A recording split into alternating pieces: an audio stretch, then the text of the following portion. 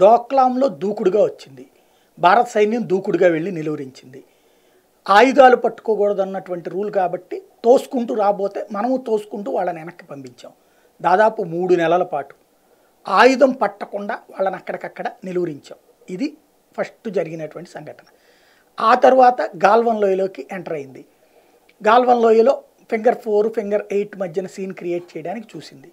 మనం దాన్ని reverse attack చేసాం ఆ సందర్భంలో మన వాళ్ళని కోల్పోయాం. దానికి ప్రతిగా అంటే రాడ్లకి ఇనప ముళ్ళు బిగించి మన వాళ్ళ ప్రాణాలు తీస్తే ఉట్టి చేతులతోనే మన వాళ్ళు వాళ్ళ ప్రాణాలు తీశారు. ఇక్కడే ఉండి మీ మా సంగతి ఏంటో చూపెడతాం. గతంలో మిమ్మల్ని ఓడించిన చరిత్ర మాదంటే ఇప్పుడు ఆనాటి చరిత్రను తిరగరాయడానికి సిద్ధంగా ఉన్నామన్నది మన సైన్యం. దాంతో ఎక్కడ వాళ్ళు అక్కడే సుదీర్ఘకాలం పాటు రెండు సంవత్సరాల నుంచి అక్కడే మోహరించి కూర్చున్నాం. ఈలోపుగా చైనా ఒక అడుగు ముందుకు వేయడానికి ప్రయత్నిస్తే నాలుగు అడుగులు వాళ్ళు గతంలో స్వాధీనం చేసుకున్న భూభాగం ఆక్రమించుకున్న భూభాగాన్ని మనం స్వాధీనం చేసుకున్నాం. అక్కడి నుంచి వెనక్కి వెళ్ళమని మనకి చెప్పింది బట్ మనం వెనక్కి పోవాలి. మనం ఇక్కడ ఆయుధానికి ఆయుధం సమాధానం చెప్పాం రెండోది ఆర్థిక సమాధానం చెప్తున్నాం. చైనా నుండి ఇంపోర్ట్స్ తగ్గించేసాం ఎక్స్పోర్ట్స్ పెంచాం. కావాలంటే చైనాకి ఎగుమతి చేసుకోవచ్చు కానీ దిగుమతులు తగ్గించాం. ఆర్థికంగా వాళ్ళకి సంబంధించి ఇదివరకు మనం ఆధారపడే ఏవైతే దీపావళి బాణాసంఖ్య దగ్గర నుంచి బొమ్మల దగ్గర నుండి చైనా వాటి ఇవన్నీ తీసుకుంటొచ్చు ఇప్పుడు చైనా విషయంలో నరేంద్ర మోడీ ఫార్ములా రెండు వేల ఇరవై ఐదు టార్గెట్.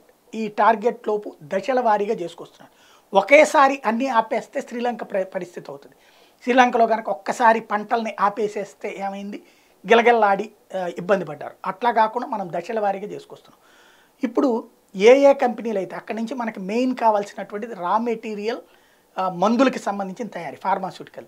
ఈ దేశంలో ఉన్నటువంటి అన్ని కార్పొరేట్ కంపెనీలని పిలిచి ప్రోత్సహించేశారు మీరు అక్కడ ఏం తయారు చేస్తున్నారో ఇక్కడ తయారు చేసుకోండి. మీకు ఏం కావాలో అది మీకు సబ్సిడీలు కరెంట్ తీసుకోండి. భూమి కావాలా తీసుకోండి రాయితీలు కావాలా తీసుకోండి ఇక్కడ పెట్టుకోండి. కాకపోతే ఏడాదికి ఇరవై శాతం చొప్పున చైనా నుండి ఆ ఇంపోర్ట్ ఆగిపోవాలి. బొమ్మల తయారీ అక్కడి నుంచి తీసుకొస్తున్నాం అక్కడే. ఎలక్ట్రానిక్ ఎక్విప్మెంట్ తయారు అక్కడి నుంచి ఇక్కడికి తీసుకొస్తున్నాం.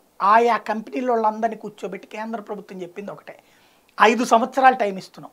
ఏడాదికి ఇరవై శాతం చొప్పున మీరు అక్కడి నుంచి ఇంపోర్ట్ ఆగిపోవాలి. ఫర్ ఎగ్జాంపుల్ ఇంతకుముందు వెయ్యి కోట్లు ఇంపోర్ట్ చేసుకుంటే ఫస్ట్ ఏడాది రెండు వందలు తగ్గించండి. ఎనిమిది వందల కోట్లు చేయండి. రెండో ఏడాది నాలుగు వందలు తగ్గించండి. నాలుగు వందలు తగ్గించండి. ఆరు వందలు చేయండి. ఇది ఆ రెండు వందలు ఇక్కడ తయారు కావాలి. ఇక్కడ కంపెనీలు కావాలి. అందుకు ఇప్పుడు నార్త్ ఇండియా మొత్తం ఫుల్ ప్లెడ్జ్డ్గా వాడుకుంటుంది కర్ణాటక కూడా వాడుకుంటుంది ఇండస్ట్రీస్ పోలేడండి ఈవెన్ సెమీ కండక్టర్ చిప్స్తో సహా. బొమ్మల తయారీలో అందుకనినే ఇంపోర్ట్స్ భారీ ఎత్తున తగ్గిపోయినటువంటి పరిస్థితి. ఇది రెండు వేల ఇరవై ఐదు నాటికి చైనా నుండి మనం ఏమీ దిగుమతి చేసుకోకూడదు. అప్పుడు పూర్తిగా రిస్ట్రిక్ట్ చేయడం అన్నటువంటి దాని దిశగా సాగుతున్నాం. సక్సెస్ అవుతుందా లేదా అన్నది ఫ్యూచర్ మీద డిపెండ్ అయి ఉంటుంది.